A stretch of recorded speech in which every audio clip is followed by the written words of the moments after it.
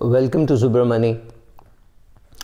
Uh, please subscribe because uh, I want more subscribers. As simple as that.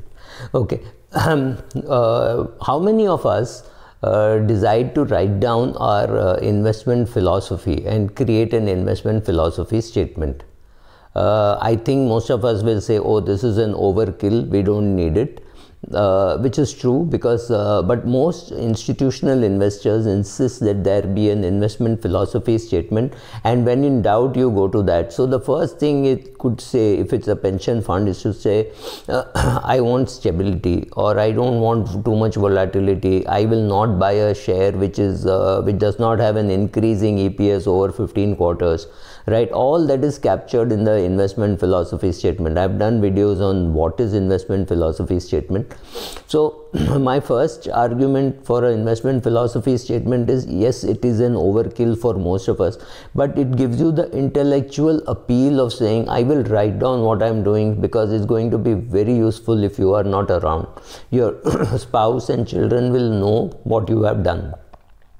To that extent it is useful. It is also useful because uh, during bad times you can refer to it. Uh, like uh, you know suppose you have a house which you want to give on rent right? You may do you make an agreement? Answer is yes. Today you make an agreement because it is needed by law but even if it was not needed by law it was always sensible to make uh, the rent agreements. And i have given houses on rent. My uh, cousin's house on rent in the 1970s for 400 rupees a month. And there was no agreement absolutely no agreement. It was just you would come and give the rent and nothing happened. Yes of course nothing happened but today the law requires that you have it. Now if you are investing in mutual funds if you are buying a life insurance policy if you're keeping your money in a bank account please understand for everything there is an agreement behind, behind it right? The only place where we don't have anything in writing is when we buy equity shares. The broker is saying i will buy this and deliver it to you for which you will pay money. He is not saying that uh, the, it's a good share that I'm buying for you, it will create wealth. That if you want, you have to sign up a PMS agreement with somebody. That's a different uh, ball game. But when you are trying to buy your own share or when you're trying to make your own investment, one of the best things you can do is put it in writing, create an investment philosophy statement which can be very useful maybe in 2022 when the market crashes. Okay, it's a joke, but Yes, in 2008, if you had invested money, if you had invested in say 2007 and you had an investment uh, IPS, uh, investment philosophy statement, you would have looked at it in 2008 and said, Look, I have invested for the next 15 years. I'm going to remove this money only in 2022. Uh, so, why am I panicking? Because you would have said it in writing that in 2000, and uh, if the market falls 20% or 30%, I will invest more money and I don't need this money for 10 years, 15 years. You would have read it in writing, committed to yourself and to your advisor that this is the money that you don't require for 10 or 15 Right now, what happens is people who invested in 2007 at a high commit the second mistake of coming out in 2008 when it is a, it's a low. Those are two mistakes which are compounding one another, right? You invested at a high and you sold at a low. This is very common for the retail investors to keep on doing this. They keep repeating this. They buy on a high thinking that they will wait and they will have patience, but then they will sell on a low. Why does this happen? This happens because people have something called nervous energy. When the markets fall, you are wondering what to do, your hands are itching, and you think you have to take some action. The reason why uh, Vipassana is very useful or meditation is very useful for investors is simply because it allows you to sit tight doing nothing that's not easy. I mean meditation is not easy. It sounds very simple but it is not. And uh, I, i'm more amused by people who they say oh i can meditate for 20 minutes. He can meditate only for 10 minutes. It's not a competition. Investment is not a competition. You invest to meet your goals. It's as simple as that. You don't invest because your neighbor has invested. Maybe your neighbor has 200 crores net worth and you have 8 crores as net worth. You're not even what are you comparing? That neighbor i mean it's like looking at warren buffett telling that in case i die my wife should put 90% of the money in an index fund and 10% in a yes correct that's great advice but look at the context look at the quantum right?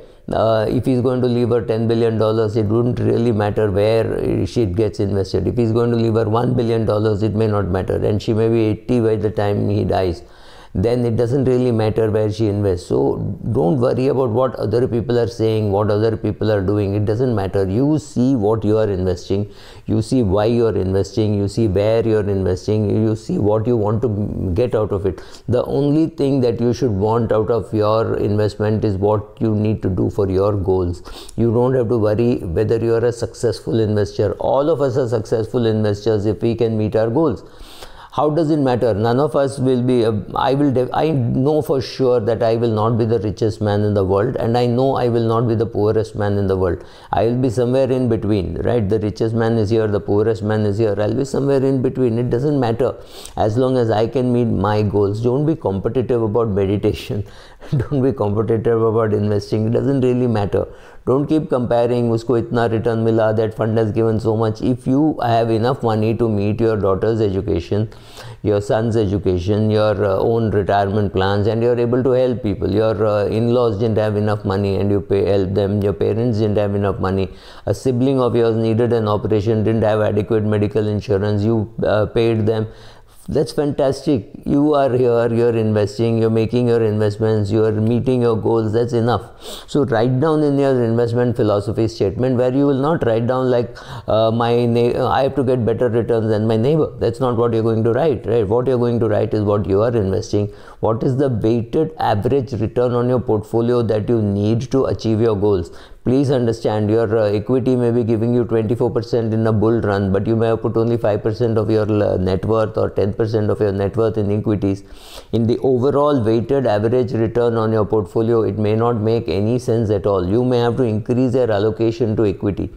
Whatever it is whatever are your goals what are you investing how much are you investing what is your expectation when will you sell will you panic will you not panic at what rate will you panic? All that is captured by the investment uh, philosophy statement and i'm very uh, sure that the successful uh, financial planners write it down put it down in writing make sure that people have all the details uh, i mean it's nice to have all the details in one place know when a client will sell when a client will not sell and how you should communicate. Do you want a communication every week every month right? Answering all those questions will be in the in the uh, ips now the ips also allows you to mm, sit calm during a crisis. When do you need an agreement? You need an agreement only during a crisis. If you have a tenant landlord relationship which is working fine the society does not insist on that and you are getting your rent on time. You don't have to worry at all. But one day if he refuses to vacate and he says this is my flat.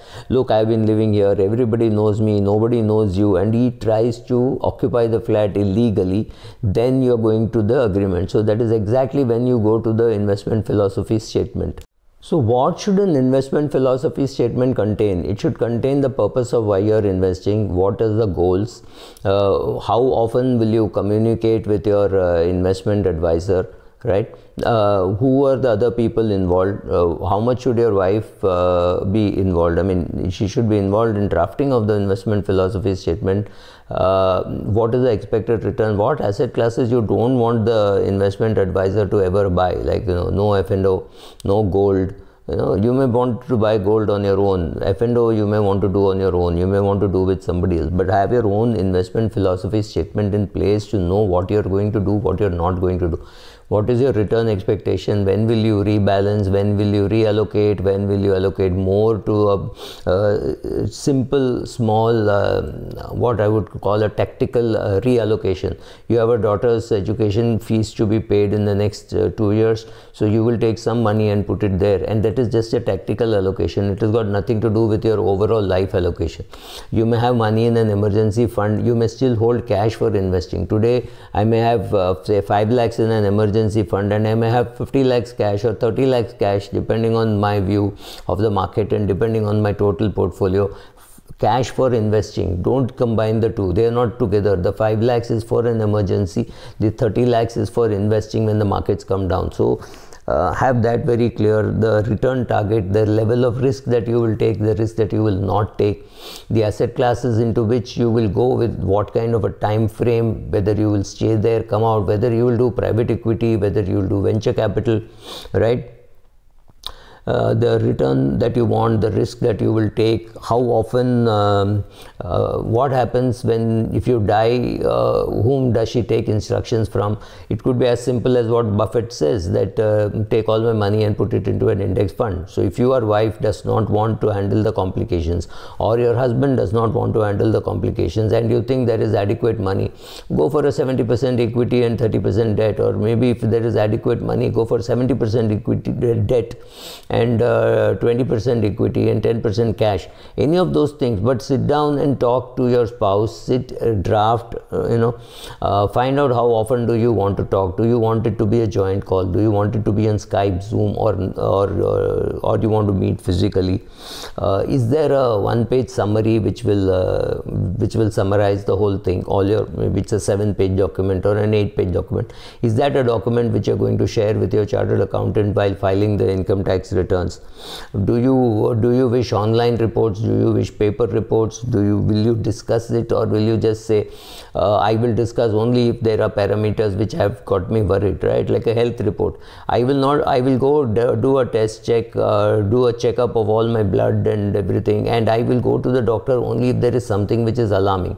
I will not go to him and bore him with all the details if it's regular. But if there is something alarming, or if I think there is something alarming, or something which I don't understand, I may go to my doctor and say, Can I have a look at it? Right? So it's not that I have a health uh, statement, but uh, I need an investment philosophy statement. Decide on um, how, how what the manager can do, what he can't do, especially if you're giving it in PMS. Set up a monitor for finding out what are the deviations which you will get alarmed about right? So do all this. This helps because when your markets come down and you're very scared and you have something called nervous energy this is a document to go to and say this is the purpose. This is what i have done. This is what i will achieve. So you don't react to every turbulence because every plane that takes off will have some turbulence could have hard landing could have any of those problems right? But it is only a crash that will kill you. It is not the turbulence. So remember during turbulence, read your investment philosophy statement. And to read the philosophy statement during a turbulent time, which could be 2022, it can't be 2021 because the days are almost over. Could be 2022, 23, 24, 25, anywhere in the future. I have no clue. So be prepared for it, and being prepared, there is nothing wrong. Thank you.